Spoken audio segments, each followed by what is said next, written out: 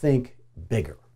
I think most people don't think big enough. So when I got into real estate, people would say, Hey, Bob, what are your goals? And I'm thinking, I don't know, lunch? I don't know. What, you know, I got to have, I have no idea what, what, how to even think about it. So they would say, oh, you know, listings are the name of the game, or you got a list to last and all this stuff. And I'm thinking, you know, I don't really know what I'm doing. And that was, that was hard. But I noticed that most realtors tend to think too small. And I'll give you an example. I've got a guy that I coach. His name is Tanner, very nice guy. And uh, so he signs up with me when he's one week into the real estate business. So I gave him a goal. Uh, he didn't know what was possible. I said, I want you to do 40 listings. He said he wanted to focus on listings uh, more than buyers from a personal lifestyle choice. Either would be fine. But he said he wanted to focus on listings. So I said, Well, I'm going to give you the goal that I give everybody. So in our initial phone call, I said, I want you to do 40 listings. Please write this down, by the way.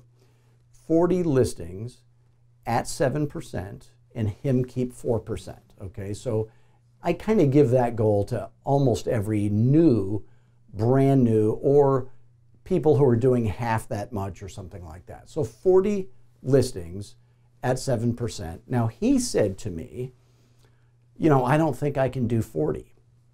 And so when he said that, I thought, well, gee, he's got a little bit of self doubt which is a very healthy character trait. The people who are overconfident and they say, "Oh yeah, I'm brand new, but I, you know, I I've been in sales in the past and I know I can do 100 listings in my first year." They do 10. But this guy had a little self-doubt and he was a nice guy and he had this unusual quality. He said, "Bob, I don't have any ideas of my own. I'm just going to do what you tell me to do." And I knew he was going to be successful. So he was right. He was not able to do 40. He did 120 listings in his first 12 months at 7% in a town where everybody else charges five, maybe six. And uh, so obviously he's doing great. So, what is that quality that he had a little bit of self doubt, but he started thinking bigger. So on his second year, obviously he's doing much better, but that's that's one quality I would want you to have is just think that it uh, bigger things may be possible than you would ever imagine. So until the next video, I want you to focus on the basics. I want you to be committed. I want you to be obsessed.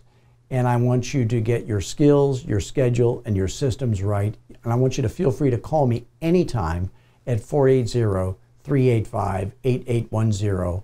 And let's see if you would be a good fit for Fearless Agent Coaching, because if you are, you're going to get rich. And if you're not, I'm still going to help you either way.